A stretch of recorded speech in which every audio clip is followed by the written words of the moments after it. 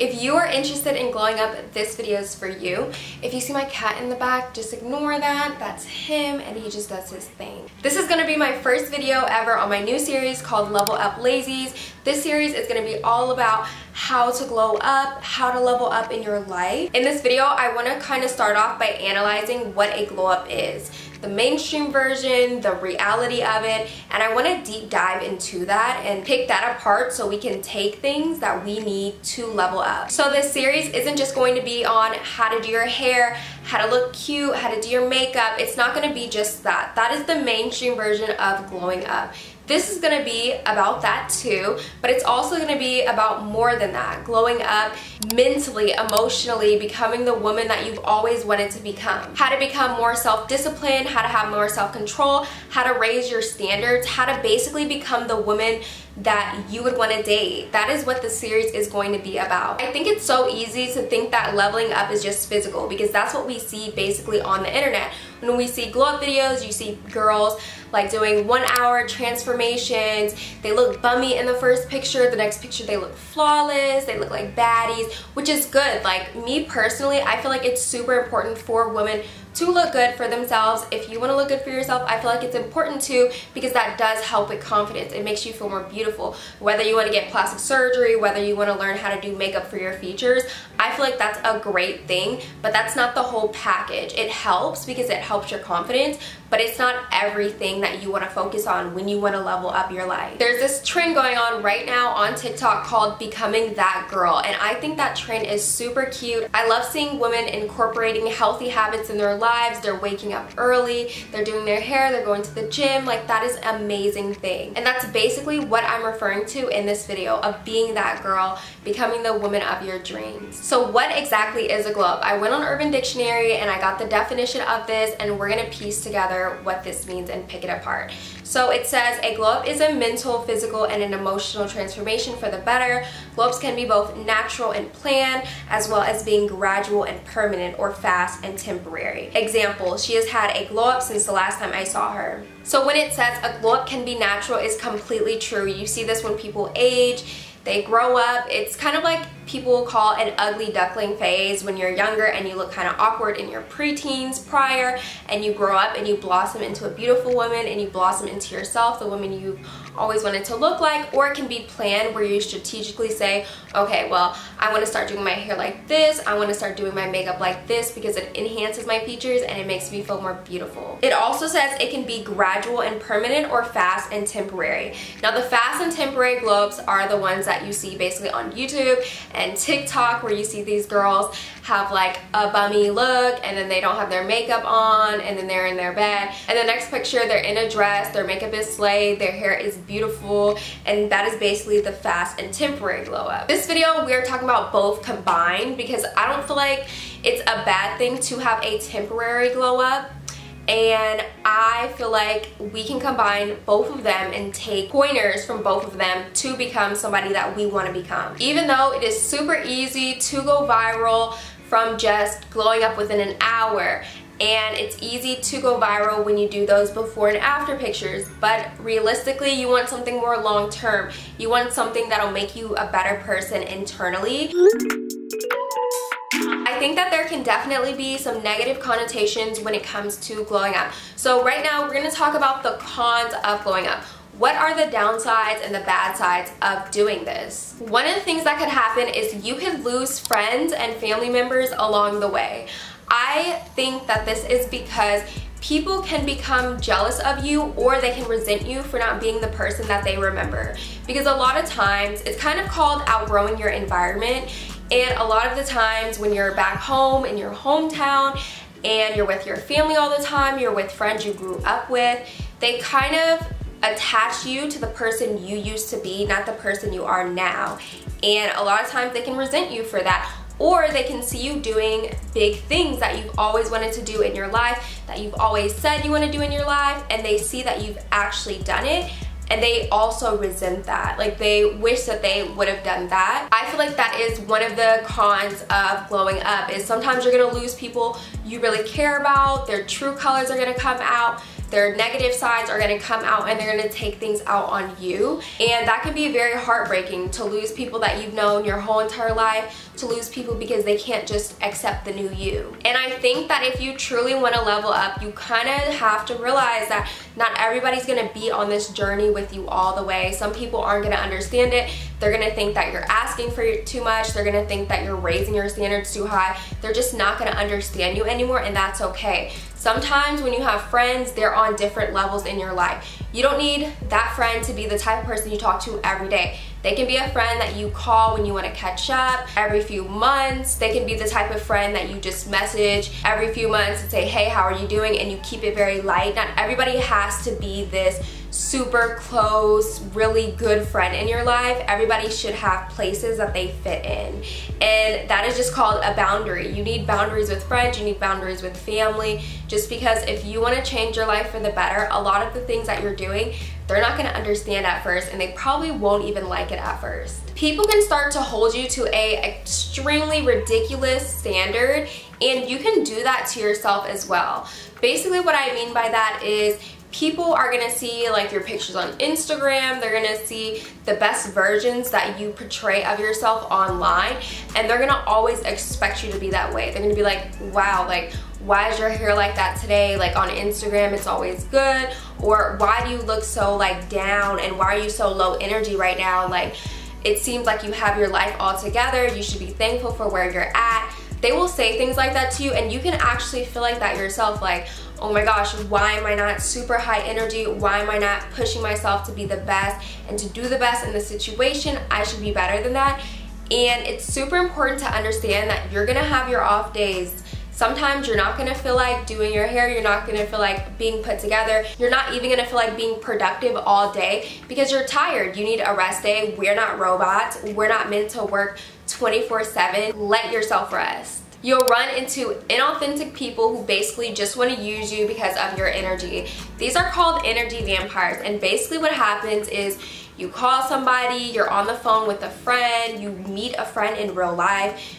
When you talk to them, they suck out all of your energy because they tell you all their problems, you're giving them advice, you're telling them what to do, you're telling them your experience of it, and afterwards, they just soak in all of your energy during the conversation, and afterwards, they feel high energy and you feel low energy. That is an energy vampire. So, and it's really important to know when this happens. This has definitely happened to me before. Me and the girl aren't friends anymore just because like it was just so draining and I could not do it. So if you are ready to level up and live the best life that you want to live, you cannot be around these types of people who literally drain you, who ask you for advice, you give them everything you can to help them, and they don't take it. They do the same thing over and over again, expecting a different result, yet they come to you for help. Like, you don't want those types of people in your life because you don't want to be that type of person. Birds of a feather do in fact flock together and you want to keep women around you that you basically just want to be like you want to admire your friends. You want to look at characteristics that they have and wish that you could also have that too. You can definitely easily outgrow your environment whenever you are glowing up. You can feel like, okay, now that I feel like this mentally, now that I have rewired my brain and I am being more productive, I am developing more self-discipline, I'm becoming the person that I've always wanted to become, the people that you're around aren't on your same wavelength anymore. You think that they're like more immature, you feel like you can't connect with them anymore, you just feel like they're kind of stuck where they're at and you are kind of progressing and you just don't feel like you can relate to where they're at anymore and that's okay.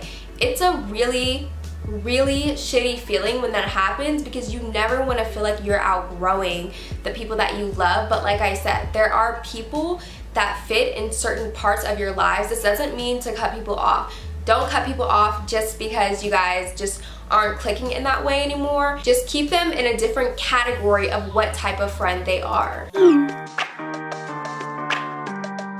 Now, what are the pros of glowing up? The pros are definitely that you will become more confident and self-aware. You will be more in tune with what you deserve, what you'll put up with, who you are, and more secure in yourself overall. When you start leveling up for yourself, you just become like your own best friend. You know, okay, well, I know that I cannot start working in the afternoon. I have to start working in the morning. Or I know that I can't start a new workout routine today because I am not going to go through with it, so I need to start in a few days. Basically, that is what being more self-aware is, is that you're honest with yourself with what your habits are, what your characteristics and traits are, and you move accordingly. It also becomes easier for you to manifest your reality. When you start working really hard every single day to work towards the person that you want to become, you're basically meeting the universe halfway. So what's happening when you're manifesting is you're doing 50% of the work and the universe is doing the next 50%.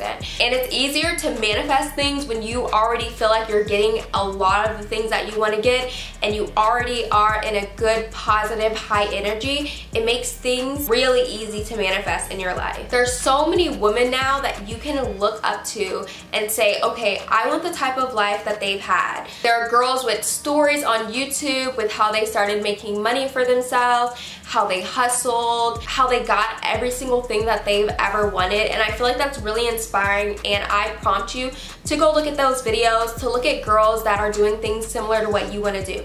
If you want to be a lawyer, look up videos about successful female lawyers. If you want to do anything like that, just look up and find somebody because you can find at least one person who's doing what you want to do and read their story, follow them, support that. It just really helps whenever you're looking at and getting notes from people that you wish you were like because you cannot get advice from people that you don't want to be like. You have to get advice from people that you wish you were like and that you will be similar to. This is just because it can be really, really lonely when you feel like you don't know anybody that you could talk to that has the same goals as you. You just don't know anybody that you could kind of look up to in your immediate circle. And that's why I feel like the internet is a great thing because this is where you can find people that can inspire you. The next thing is that you learn to work for the things that you want. Now, this is for my girls who are dreamers. If you're a dreamer and if you are in your head all day, I just really want to let you know that that is not the way that you are going to do anything. One day I'm going to do this. No, no, no, no. There is no one day. You need to start today. If there's a little thing that you can do today that will bring you closer to your dreams, do it. Even if that's planning something. For example, if you're like, okay, I want to move to New York eventually and I want to be a fashion designer. Okay, make a plan. Get your journal out and write down all the things that you can do right now to save money, how can you work on your fashion line right now? What can you do to market yourself better? What kind of networks can you make right now? There are things that you can do right now to bring you closer to that reality. You literally have to work towards what you want to get the goal that you want. And that's something that a lot of these girls have that girls need to start writing down. These girls who've leveled up did not just sit on their butt all day and say, oh, one day I'll do that and like, I don't know what day, but I know it's gonna happen. No, no, no, no. They got up and they did everything they could to get it and they got it. So you need to learn how to work for what you want because nobody else is gonna do this for you. Next is your standards are finally high and in the right place. You need high standards because this forces everything in your life to place perfectly for you. You wanna feel respected, you wanna feel loved, and a high standard to you can be literally just a normal standard for somebody else. And I feel like that's such a great thing because when you have low standards it's kind of equivalent to just having low self-esteem. You don't feel like you deserve to be treated that way whether that's dating whether that's in your work environment. You basically just feel like oh I don't deserve that why should I get that? Basically kind of like imposter syndrome. But you do deserve that and that's what leveling up is. You're finally figuring out what you deserve and how you're gonna get it. I would definitely say that my experience growing up was very natural and slow. When I was younger, I always knew that I wanted to be in front of a camera and I was so, so embarrassed by it. When I was in high school, I wanted to start a YouTube channel and I ended up starting one and I took my first video I ever made down because one of my friends was making fun of me for it. So I took that video down and after I took it down, threw YouTube away, I was like, I'm not doing that anymore. I'm too embarrassed. I'm too ashamed. Then I got into college and my third year being in college, I started my YouTube channel up again and now it's here. Like I'm so grateful for having this and I had to grow confident enough to sit in front of a camera and to talk to myself and to edit my videos and to put it up for everybody to see. Because at first I was literally hiding my videos from everybody. I didn't want anybody to see. I was so ashamed for it. And I just want to let you know that you should never be ashamed of something that you love just because other people don't understand it, other people don't get it, and you seem kind of nervous at first, you don't know what you're doing, that's okay. You have to do things that make you feel uncomfortable for you to grow to the point that you want to be. And this goes for anything. This is not just for a creative job. This is for anything you ever want to do in life. And I hope that inspires you if you ever want to start something for yourself, if you want to start that business, if you want to apply for that job, if you want to do anything like that, just do it. Nobody else should make you feel ashamed for wanting that. And in this series, that is what I'm going to discuss even further. I'm going to teach you how to become more confident, how to become more disciplined, and how you can also look good physically too. How you can look for the best aesthetic for you, what kind of aesthetic fits you perfectly, everything like that just so you can become the best version that you want to become. I hope you guys enjoyed this video. If you did, please give me a thumbs up. Love you guys so much and I'll see you guys in my next one. Bye!